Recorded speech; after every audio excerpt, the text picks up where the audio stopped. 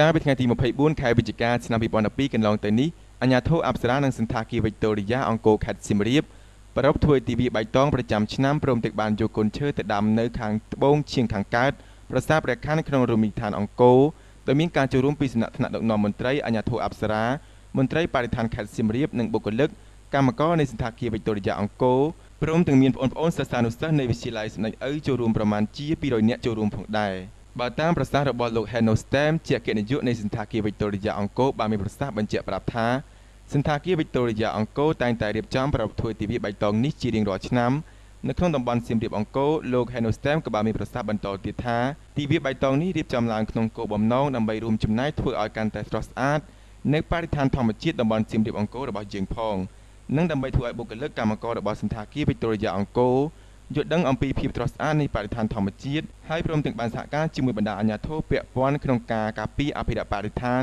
ហើយសម្រាប់ការដាំកូនឈើនៅឆ្នាំនេះគឺដាំកូនឈើប្រភេទដើមកុកី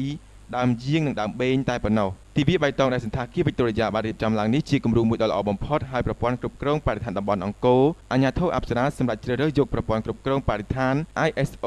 14001មកអនុវត្តព្រោះប្រព័ន្ធនេះមានលក្ខណៈសមស្របនិងងាយស្រួល ក្នុងគោលដៅអភិរក្សនិងអភិវឌ្ឍដោយចីរភាពរមណីយដ្ឋានអង្គរអាជ្ញាធរអប្សរាបដិញ្ញាចិត្តជំរុញធ្វើយ៉ាងណាឲ្យមានដំណើរស៊ីចង្វាក់គ្នារវាងធម្មជាតិប្រាសាទនិងអ្នកស្រុក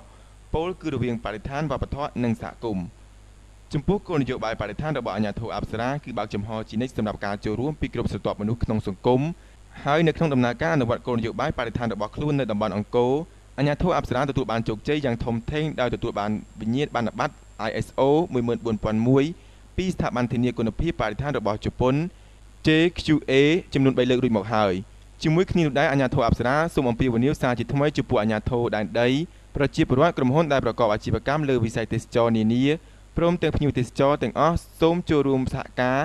ថែរក្សាបរិស្ថានធម្មជាតិក្នុងរមណីយដ្ឋានអង្គរប្រវត្តិសាស្ត្រដែលជាបេតិកភណ្ឌពិភពលោករបស់យើងឲ្យបានស្រស់ស្អាតជានិរន្តរ៍ផងដែរ។